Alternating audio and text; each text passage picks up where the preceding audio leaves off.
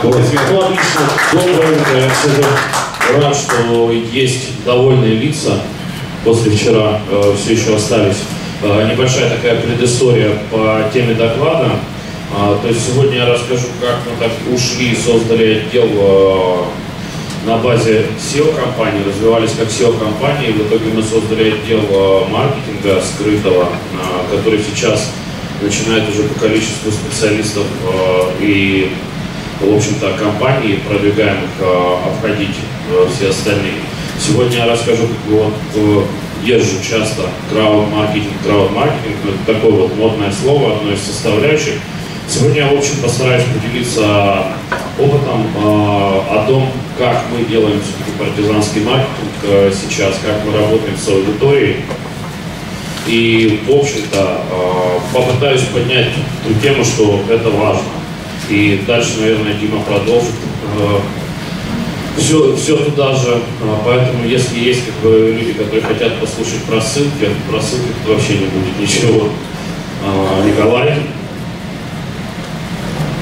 Вот, собственно, почему, почему мы пошли изучать, смотреть, привлекать людей, почему? Потому что крауд-маркетинг такая технология, которой мы начали заниматься а, все знают вот, технологии линкбилдинга с привлечением трафика.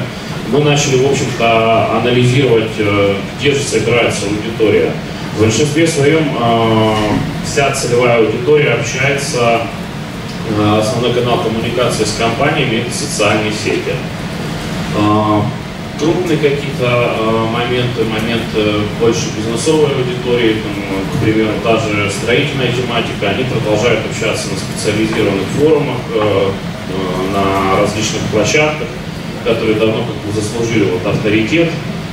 И, в общем-то, какие-то другие там э, сайты, источники, они тоже присутствуют э, из разряда всяких блок-платформ, различных тоже видеоконтент сейчас да, набирает там, а, обороты, много людей уходят а, в видео. А, мы посмотрели, вот посчитали, то есть в принципе понятно, что большая часть всей целевой аудитории находится в социальных сетях и на различных форумах. Николай, можно так говорить или что-то придумать веселее. Как вообще сейчас работает Э, вся вот эта вот система скрытого маркетинга в интернете. То есть э, по нашим наблюдениям, если взять, э, разделить там, по тому, кто работает, это работает либо один автор-специалист, в большинстве своем со стороны компании, а, ну, как правило, все мы прекрасно понимаем, это недогруженный менеджер, которому говорят, пойди там, позанимайся чем-то. То есть, ну, в большинстве случаев происходит именно так. А, либо это группа авторов in-house, но в большинстве случаев это группа недогруженных менеджеров, а, либо других каких-то специалистов. И это группа специалистов агентства. А, дальше работа происходит, собственно, либо по плану, который обсуждается, заранее оговаривается и расписывается там на полгода, на 10 месяцев, там, на какой-то определенный период времени, а, либо это более гибкая стратегия, которая меняется в зависимости от того, что мы видим а, в итоге по началу наших работ. А, конечно, со стороны компании мало кто вдается там подробности, мало кто делает какие-то замеры, и в большинстве своем просто идет такое адовое влияние, то что вот любимый вопрос, чем это отличается там от спама, от банальных посевов. Вот редко редко со стороны компании идет такая работа, если это не крупный бизнес, а когда это отличается действительно таки от спама. И, в принципе, в большинстве своем, вот, если есть а, представители бизнеса, у которых работают так вот недогруженные менеджеры по какому-то определенному списку, там то а, в большинстве своем вам будет дешевле заказать работу с какими-то спам-программами и получить тот же результат, у менеджера догрузить чем-то еще. Николай, можно следующий слайд. А, собственно, когда автор работает один, а, это, в общем-то, у нас вот такое есть а, понятие, когда приходит клиент и говорит, у меня есть э, человек, я с ним работаю, он всем занимается.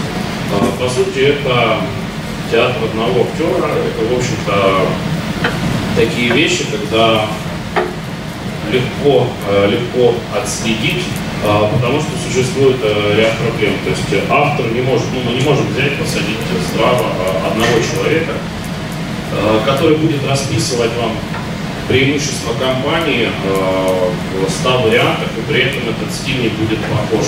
То есть, как минимум, это нужен человек с раздвоением личности, а, с расстроением там, или еще с какими-то более серьезными отклонениями, чтобы отсутствовала вот эта субъективная а, оценка и стилистика. Это все легко отслеживается конкурентами. А, в общем-то, один автор – это ограниченный объем работы, в большинстве своем работает только на региональном каком-то рынке небольшом, может дать какой-то результат. Ну и, как правило, то есть, э, когда работает один автор с проектом, то после второго-третьего месяца начинается профессиональное выгорание, когда человек опускает руки, и он начинает путаться сам с собой, вот, с теми мыслями, которые он пытается донести до аудитории. Поэтому мы как бы стараемся объяснять сразу, что один автор это хорошо, но это может быть хорошо месяц-два. После этого как бы надо обращать внимание и надо каким-то образом разбавлять все это. Николай, можно следующий слайд? Вот, э, когда работает отдел инхаус, мы изучали э, работу вот по направлению э, скрытого маркетинга нескольких крупных производителей, смотрели. То есть все знают, что такое скрипты продаж когда человек э, работает по готовому шаблону, у него есть на каждую фразу, на каждый ответ, у него есть, в общем-то, э, какие-то уже подготовленные варианты ответа. А вот отделы работают примерно так же на форумах, э, на других площадках. Очень редко там, да, это уже скорее мы видим потом результаты какого-то вирусного маркетинга, то есть у нас там банковская сфера показывает какие-то там фишки в общении, еще что-то. В большинстве своем какие-то крупные, там, допустим, производители, у них есть просто список, что ты заходишь туда. Если там тональность такая, ты должен написать следующее. Соответственно, складывается ощущение, что работает все тот же один автор, но который имеет в сутках больше, чем 24 часа. И вот, вот он ходит везде, вот эти вот э, каналы прослеживает и везде оставляет какое-то сообщение. Как минимум, как минимум, очень редко компании привлекают э, для разработки стратегий, для обучения специалистов там, э, на консалтинг кого-либо. И получается так, что люди вообще не понимают, зачем они это делать, что это делать и чем отличается там, скрытая реклама от э, не скрытой. Э, то, что я только что да, сказал, э, по конкретным триггерам корпоративным, когда приходит э, руководитель, то есть обычно это бывает так, собираются те же менеджеры, которые приходят и говорят, «Э, мы должны работать с форумами, социальными сетями. Мы должны говорить о том, что э, наша авиакомпания самая дешевая. Э, человек встает и говорит, ну это же не так. Мы вообще не из самых дорогих в этом сегменте. И руководитель говорит, нет, ты когда устраивался на работу, ты подписал все, все бумаги, и ты должен соответствовать как всем, э, всем нашим там, корпоративным критериям и стандартам. А мы хотим хотя бы думать внутри себя, что мы самые дешевые, поэтому мы должны об этом говорить. Вот так вот происходит, в принципе, со всеми. Э, классно было наблюдать, э, мы отслеживали компанию производителей бытовой техники, э, которая, в общем-то, она одна из самых дешевых э, в своем ценовом сегменте. У них никакого нет качества, но там отрабатывала команда таким образом, что э, примерно это бренд, который зарекомендовал себя веками. И это один из лучших производителей. При этом они производили тепловое оборудование. Если зайти на любой э, сайт с отзывами, посмотреть реальные отзывы людей, то приблизительно у каждого второго он либо горел, либо загоралась проводка, либо он просто переставал работать. Но тем не менее входили вот эти вот боты, которые рассказывали о том, что вы что, наша техника самая качественная, возьмите ее. А, слаженность действий в большинстве своем в компаниях отсутствует. А, как правило, приходит новый специалист в компанию, ему говорят, вот у тебя есть там время, ты тоже будешь заниматься скрытой рекламой. Он приходит, садится, задает вопрос, что я должен делать, при этом ему говорят, ну, делай что-нибудь. И в итоге получается так, что э, усилия одних и тех же специалистов направлены на какую-то одну точку. хотя всегда лучше взаимодействовать там не более, чтобы э, человек взаимодействовал с точкой э, контакта с аудиторией. Ну и то, о чем я говорил, моя любимая тема, это full-time занятость. То есть человек этим занимается поскольку, поскольку, и в большинстве случаев в компаниях не есть возможным требовать от человека каких-то результатов. Даже если мы проводим замеры, человек начинает говорить, что я, в общем-то, там менеджер по коммуникациям, я пиар-менеджер, я еще я не должен там этим заниматься, э, я СММщик, я тут, ну, как бы, э, в большинстве случаев люди не подразумевают то, что это должно повлечь э, за собой какой-то результат. Поэтому вот работа команды это вот хоро, хорошая да, фраза, каждая рябушка хвалит свое болото. Вот это вот то, что описывает да, Николай. Можно дальше. А, вот. Ну и, конечно, я как представитель агентства сейчас буду рассказывать о том, что агентство это вообще лучший вариант. А, в принципе. Но я хочу вот э, сделать большую да, ремарочку. А, агентство это не всегда а, такой пункт, когда вы ходите и на абонентской основе относите деньги, э, тратите их. Почему? Потому что с агентством можно э, вырабатывать множество разных схем э, взаимодействия. То есть тот же консалтинг, он позволяет достигать больших результатов. Есть хорошие агентства, компании, которые предлагают и пойдут работать таким образом, взаимодействовать внутри компании, которые будут выстраивать этот отдел. И это будет находиться там относительно недорого, поэтому не будем подразумевать, что речь идет о том, что вот агентство, это все сразу слив бюджета компании. Э, у агентства основной плюс э, в том, что стратегия гибкая, которая меняется в зависимости от того, что мы видим сегодня. Э, люди в компаниях занимаются этим full time, они анализируют, и, соответственно, если происходят какие-то изменения, даже если план расписан на полгода, а, мы заинтересованы в первую очередь в эффективности. И, соответственно, мы сразу же начинаем связываться и думать, как и что нам менять, изменять и дорабатывать. То есть это происходит практически каждый день. А, агентство – это техническая база, это инструменты, это свои сети ботов, естественно, это свои сети какие-то сайтов, все это уже подготовлено, все это есть, и никто не заморачивается об этом. А, агентство это, как правило, несколько специалистов, это различная стилистика, и это проработка коммуникации, то есть э, проработка вот, э, именно навыка коммуникации э, с, клиент, с клиентом и целевой аудиторией. И агентство, в общем-то, в большинстве своем хотя бы как-то, но они должны уметь оценивать свою работу, то, что они делают. То есть они, э, по сути, все должны давать какие-то цифры в итоге. А, Николай, можно? А, механика работы примерно следующая. А, определяется общая цель компании, происходит там распределение задач среди всех там, членов команды, которые заняты. Это и специалисты по SMM, это и специалисты там, по управлению репутацией, и все это в итоге должно сложиться в единую стратегию. И, в общем-то, постановка каких-то контрольных точек, а, когда подводятся какие-то промежуточные результаты работ, а, вот те самые какие-то замеры, а, на фоне которых компания понимает, что нужно что-то менять в стратегии, либо нет. И, в общем-то, это контрольная точка взаимодействия с клиентами. Далее что тут с презентацией случилось у меня.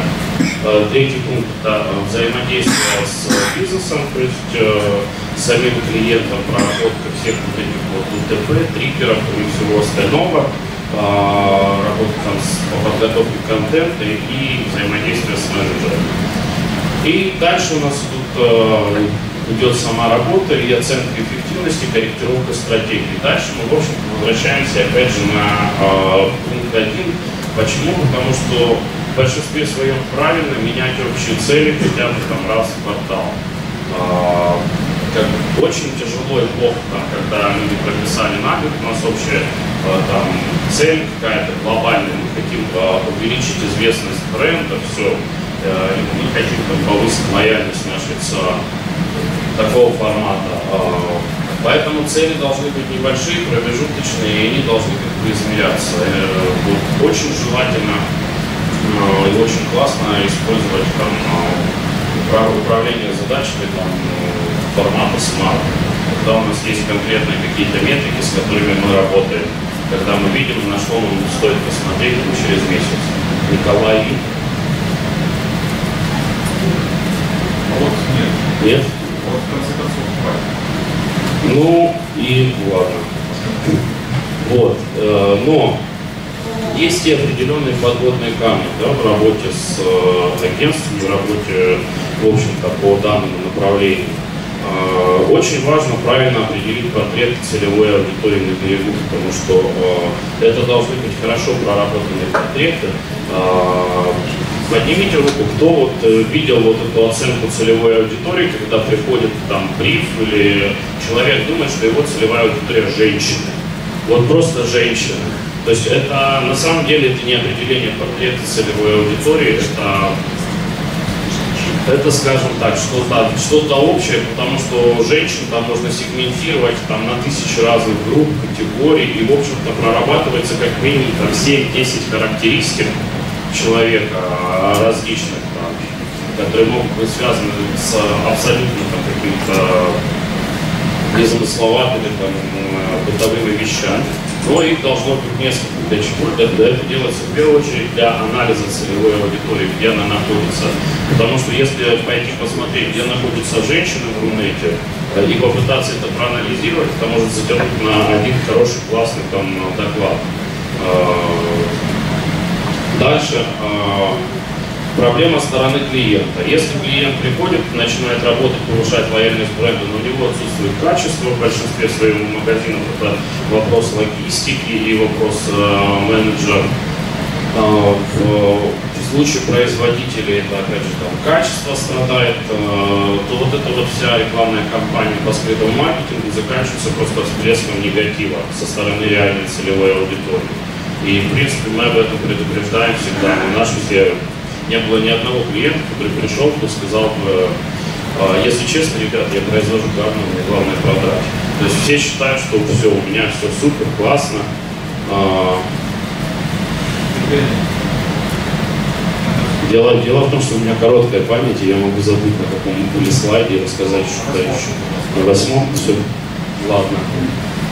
А, поэтому стоит начинать какие-либо работы вот эти по коммуникации с целевой аудиторией, когда мы знаем, что у нас а, есть возможность реагировать на какую-то ответную реакцию там, а, аудитории, либо у нас нет никаких проблем. Клиент вот, уверен, что все так.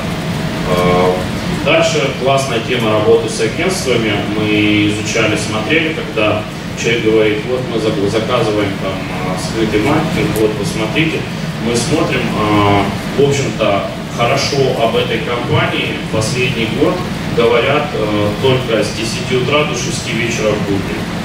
Вот такой вот ну, тонкий момент, который на самом деле, если брать общую, в общем маркетолога какого-то, даже с небольшим стажем, то есть понятно, что это все легко, легко отслеживается. А, смотреть на море можно вечно.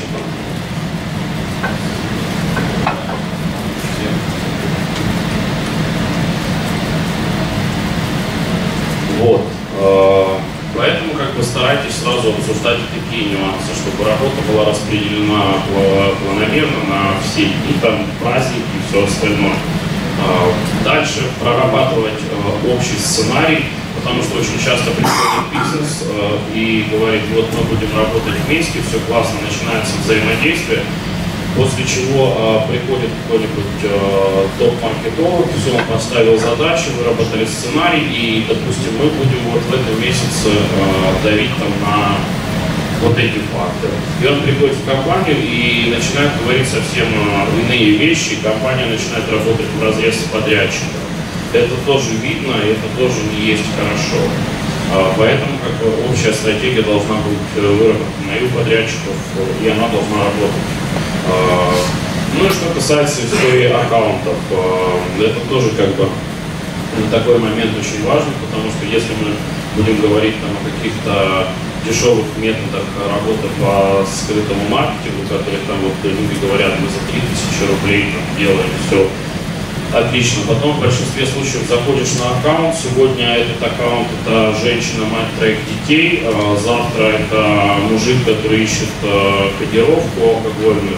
А послезавтра это строитель с 30-летним опытом. И это все идет в сообщениях одного и того же профайла. И при этом, как бы, ну, это ужасно, потому что нам таким образом удалось в свое время отжать клиентов. Мы нашли такую базу аккаунтов, написали всем этим ребятам коммерческое предложение с тем фактом, что э, как бы вас не смущает, что вы рекламируете из разряда товара для детей, вот, а вот мужчина кодируется, а вот еще что-то. То есть, и у нас таких скандалов очень много на Украине э, конкретно по SMM специалистам. Ну, то есть это прям вот у нас тема, у нас не раз в квартал, у нас какая-то попма происходит, когда у нас получилось вот так недавно мэр города Харькова а, написал пост, как он съездил а, на конференцию по PPC рекламе. Но это удалили все примерно за 10-15 минут. Естественно, это все было масса скриншотов. Ну вот а, Дима Сидорин всегда говорит, то, что уже произошло, это уже не уйдет.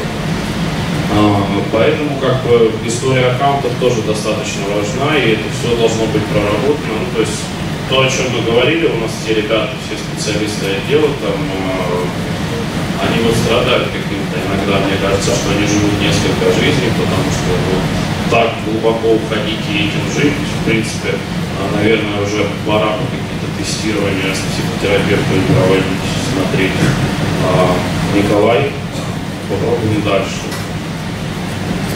Собственно, методы оценки эффективности. А, понятно, что работаем мы стандартно с упоминаниями бренда. Да, отлично, не хватит. А, вот. А, работаем, подсчитываем количество упоминаний брендов. Мы смотрим на запрашиваемость брендов, запрашиваемость брендов в конкретных регионах,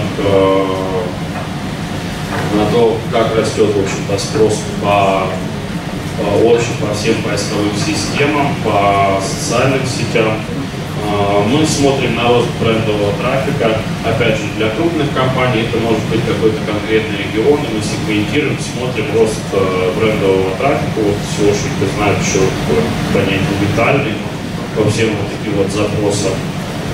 И, а, в общем-то, э, смотрим на долю коммерческих упоминаний от общего числа. То есть наша задача в том, чтобы количество, грубо говоря, было плюс-минус идентично, но при этом э, доля, доля э, тех упоминаний, за которые клиент платит, э, она должна уменьшаться. Стоит отметить еще такой важный факт, что если клиент параллельно проводит множество других рекламных кампаний, в том числе офлайн, Тут становится считать сложно, и нам приходится собирать вот те данные, которые отдает клиент по подсчетам там, других каналов, которые ему предоставляют. И э, мы начинаем, в общем-то, считать уже отталкиваясь от этого нашу эффективность высчитывать. Но бывает как бы такая, э, бывают такие моменты, когда приходят ребята и говорят, вот э, наш результат рекламы на радио, вот наш результат рекламы на телевидении, вот наш результат там, рекламных печатных изданиях. И, соответственно, все дают такие цифры, что в итоге по этим примерным результатам, когда это все происходит вот, э, не слаженно, тогда выясняется, что, в общем-то, только телевидение и радио на сайт привело трафика, там, грубо говоря, в три раза больше, чем его есть. Потому что все пишут, что там 90% это наша заслуга. 90% того, что у вас есть, это сделали мы. И, как правило, таких агентств и подрядчиков человек 8, и после этого клиент э, в большинстве случаев меняет э, специалиста по маркетингу и уже начинает более тщательно смотреть. Николай? А, фишка, в общем-то, взаимодействия с аудиторией очень важно э, не просто пройтись, а пройтись с упоминаниями, с какими-то триггерами, важно поддерживать общение в дальнейшем. То есть мы не бросаем тему, не бросаем комментарии, мы идем общаемся дальше. Самый известный момент э, работы там, с аудиторией троллинг, то есть э, классно, хорошо, это уже вот часть онлайн-жизни. Второй момент – это использование реальных фотографий э, очень часто мы запрашиваем там даже крупного бизнеса там какой-то пул э, фотографий, которые сделаны то есть такого аматорского стиля, который мы используем дальше в публикациях. Фотографии в большинстве своем дают возможность пройти модерацию на всех злых форумах, отзывиках э, и прочих местах. То есть вот есть у нас такой пол форумов, где просто очень тяжело работать. А, дальше такой момент, как перевод в личные сообщения, то есть когда начинается какое-то общение, какие-то вопросы, а, которые мы не хотим там, отвечать лично, бывает такое. Мы переводим общение в личные сообщения, и, в общем-то, часто личные сообщения помогают в дальнейшем продавать, привлекать новых партнеров, э, поэтому как бы, за аккаунтами нужно следить. Ну и следующая тема это вообще как бы перевод в офлайн. А, когда мы пытаемся вывести человека с э, вот с площадки на какой-то там офлайн, да, то есть на встречу в офисе, на еще что-то, на какой-то созвон. То есть такие моменты возникают, но почему-то вот в большинстве случаев в интернете сейчас все это воспринимается весь скрытый маркетинг как а, процесс посева сообщений. Но на самом деле это все контролируется, мы считаем это все и смотрим. И Николай. В общем-то, что касается крупного бизнеса, важно, важно заполнять брифы, много общаться, э, важно проводить некий тест-драйв проекта, потому что все может быть совсем по-другому, не так, как ожидаем мы, не так, как ожидает клиент. Мы как бы всегда начинаем там, со стартового периода 45 дней, э, плюс-минус смотрим, э, как это все работает, чтобы уже более точно что-то говорить. И э, важно, важно стабильное взаимодействие с представителями компании. Причем важно, чтобы это было не одно лицо, а прописывать сразу два-три ответственных лица, поскольку представители компании любят уходить в отпуск, в декрет, в другие места, и ты остаешься дальше без э, коммуникаторов компании. И, в общем-то, э, еще быстрее. На речники впереди. Хорошо. Вот. Поэтому важно это прописывать сразу. А, это однозначно должна быть гибкая стратегия работы, которая должна меняться чуть ли не каждую неделю. И это должно быть какое-то определение общих глобальных целей. Николай а, работает, в общем-то, в первую очередь на лояльность, на репутацию. А, это отличный метод коммуникации. И э, это отличный метод сбора статистики. То есть э, мы параллельно работаем, можем собирать фидбэк пользователей и выявлять какие-то основные моменты ошибки компании, которые э, мешают ей развиваться. То есть это действительно как бы естественные отзывы, естественные э, мнения людей. И таким образом мы можем как бы помогать вообще бизнесу выявлять все эти проблемы, если клиент этого не делает сам. Э, Николай? Вот. Для малого и среднего бизнеса это, как правило, совсем небольшие объемы, ограничения по площадкам. А, это та же работа с узнаваемостью бренда и лояльностью. А, это стартовое продвижение для новых брендов, а, особенно хорошо работает в регионе. Но это не работает, грубо говоря, как отдельный метод. Поэтому надеяться для малого и среднего бизнеса, что вот такая вот стратегия может привести к построению канала продаж, э, это скорее просто как доп. услуга. А если там, для кого-то это может там еще как-то повлиять на именно вот на поток аудитории, то в случае малого бизнеса, особенно регионального, то есть это очень-очень а, ограниченный такой сегмент и практически в половине случаев нет смысла даже тратиться. Николай. Вот. Ну и в общем-то все. Ну, в общем-то, аплодисменты.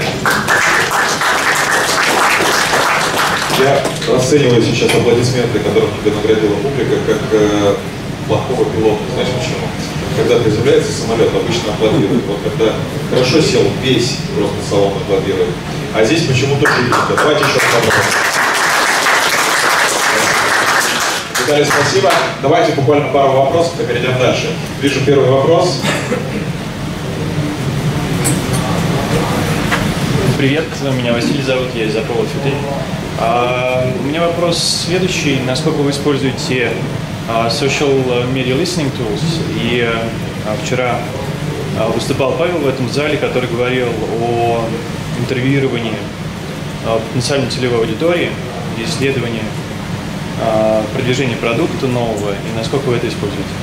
А, Могу ответить э, честно, мы это используем, а, в общем-то, ну вот эти технологии интервьюирования, это все очень круто и классно. Я бы делал это всегда, если бы мне всегда платили столько денег, которые покрывали бы затраты на специалистов. Павел Но платит. Это, это касается крупного бизнеса, да, то есть там всякие из классического маркетинга очень много схем а, работ и всего остального. Но это касается крупного бизнеса. Мы понимаем почему, потому что только у них есть э, средства таким вот образом. Ну, то есть производители, например, э, фарма. Э, Очень классно работаем, смотрим, анализируем, общаемся. И мы готовим отчеты, то есть вплоть до запуска продуктов, там, до выпуска. Они уже имеют какую-то информацию об основных конкурентах. Еще один последний завершающий вопрос. Скажите, по поводу все-таки бюджета, да? А, вот на стороне агентства, как именно рассчитывается количество денег, да, сколько клиент должен выделить на все комментарии, все упоминания, то есть это у вас дальше подсчитывается, грубо говоря, здесь отреагировал агент 20 рублей, здесь отреагировал 30 рублей, это как вообще, как это обычно бывает? Э, Ну, в большинстве своем, то есть у нас э, это идет соста- составлена, грубо говоря, стратегия, где прописан каждый пункт э, работы и оценочная его стоимость. И если мы вот закладываем работу, там, к примеру, ну, то есть бывает такое, когда вышел репортаж на федеральном канале с негативом, нам там приходится увеличивать объемы в 8 раз, чтобы как-то э, воздействовать, противостоять этому всему. А, Вот, но в общих, в общих чертах, да, примерно так. То есть каждое определенное действие, которое в итоге видит э, клиент, э, то, что осталось с клиента, э, он за это платит. Сколько? Ну, очень Порядок цифр. Ну, я, я скажу как бы в общем, а От нас- 80 копеек до рубля 10? я по поштучно не могу сказать, я могу сказать, что у нас где-то там чеки от 15 до 200 тысяч. Ну что ж, ладно, на этом мы еще раз скажем огромное спасибо Виталию. Виталий